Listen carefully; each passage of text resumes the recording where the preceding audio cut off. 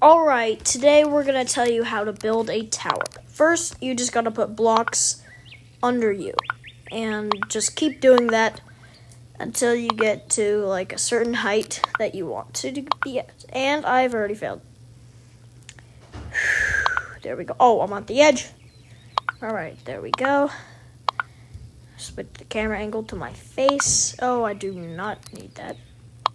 And let's keep going. Boop, boop, boop, and I failed again.